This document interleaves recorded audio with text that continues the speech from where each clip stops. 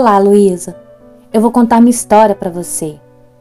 Às vezes, nós fazemos as coisas, mesmo que sem assumir, meio que esperando retorno, sabe?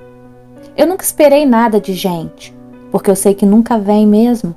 Mas eu esperava do céu, porque eu sei que Deus é justo e vê tudo. Mas o que eu ganhei em troca do tanto que eu fiz por aquele povo foi um trauma que não só me impediu de fazer o que eu fazia antes, como muitas outras coisas do bem que eu fazia.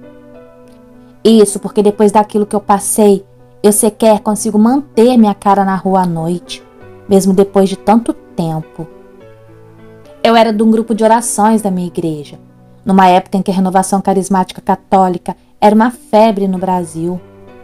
Vocês devem se lembrar, Padre Marcelo estava em alto com as músicas do primeiro CD dele tocando em todos os rebanhões pelo Brasil. Nosso grupo de orações inflamava. Eram bênçãos atrás de bênçãos. Ele foi o primeiro da cidade. Os católicos mais antigos viam a gente com olhos desconfiados e confesso que demoraram para entender. Mas era de outro mundo. O Espírito Santo se fazia presente em todas as nossas reuniões. Me arrepio só de lembrar. Mas o inimigo trabalha, Luísa, de forma muito ardilosa. Nosso grupo tinha missionários e cada um ajudava de alguma forma a comunidade. Eu sempre ajudei em pastorais na igreja, mas quando comecei a participar dos grupos de oração, passei a me engajar mais nos trabalhos do grupo e acabei virando voluntária no Asilo de São José, que fica ali no meu bairro mesmo. Eu tinha uns 30 anos naquela época, nos anos de 99, 2000. Luísa, eu era uma moça linda, Trabalhava numa escola de secretária e estava noiva. Estava indo tudo muito bem na minha vida, até que eu passei pelo que passei. E depois tudo mudou. Eu posso dizer que fiquei cara a cara com o próprio encardido. Eu não saía mais do asilo. Quem lida com isso sabe que trabalho voluntário pode consumir uma vida. Eu ia para lá todo dia à noite porque o sacolão do meu bairro dava alimentos que não vendiam para a gente, e como era inverno, nós preparávamos um sopão para a população mais pobre. Eles passavam no asilo e jantavam ou buscavam a sopa nos seus potinhos. Depois eu passava em cada quarto e via se estavam bem, se tinham feito a higiene.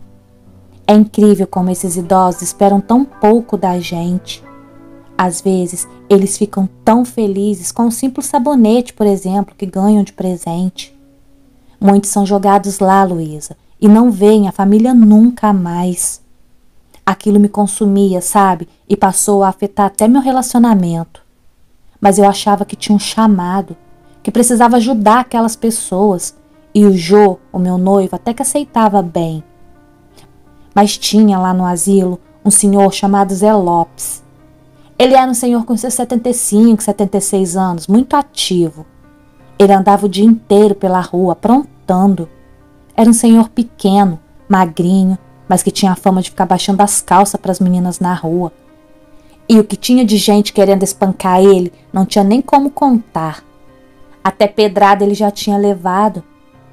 Ele não obedecia às ordens de chegar até às 18. Era boquirroto, respondão. Não tirava os palavrões da boca e era agressivo também.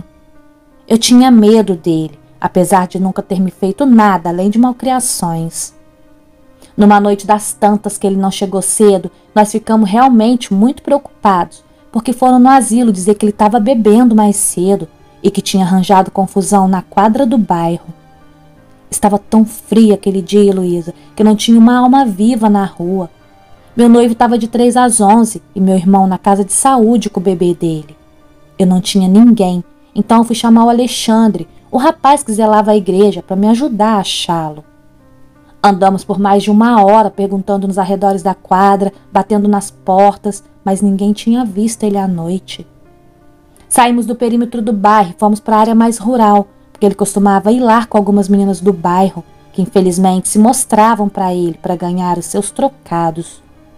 Por isso ele vivia sendo ameaçado e nós morríamos de medo. Aquela área rural era uma rua de terra batida, longa e cercada por pastos. À margem dela corria um trilho de trem, onde em seu final havia um túnel.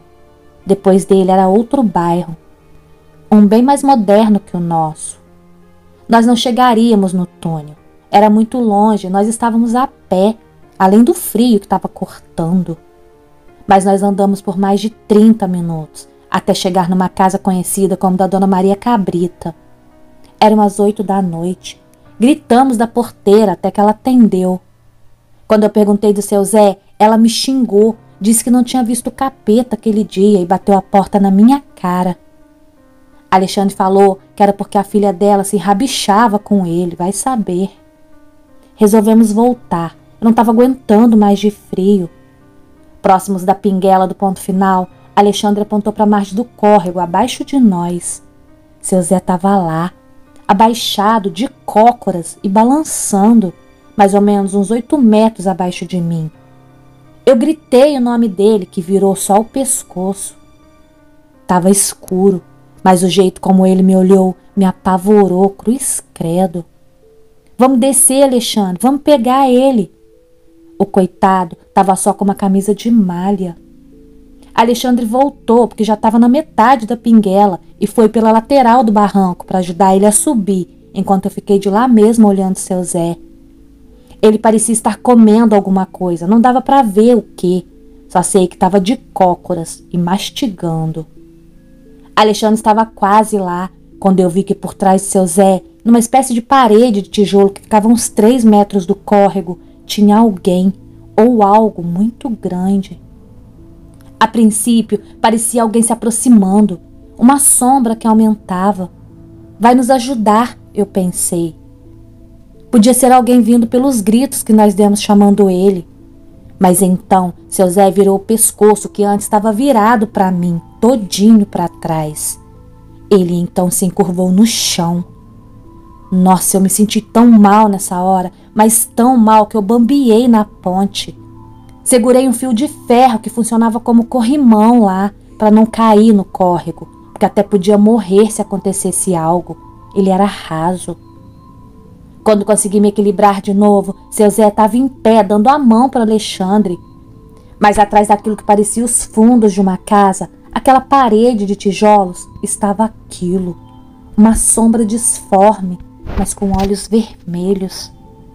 Olhos que se direcionava para o seu Zé, gente. Eu estava gelada, mas não era do frio. Apertei uma medalha de São Bento que eu carregava no peito e comecei a rezar. Minhas pernas não obedeciam para andar na pinguela, mas passo por passo eu fui conseguindo me adiantar. Hoje, se eu pudesse explicar como era, eu diria que é como quando você dorme sobre as pernas e não as sente depois mas parece que a oração me movia. Quando eu consegui pisar no chão de novo, eu estava sozinha. Alexandre havia varado na outra rua com seu Zé.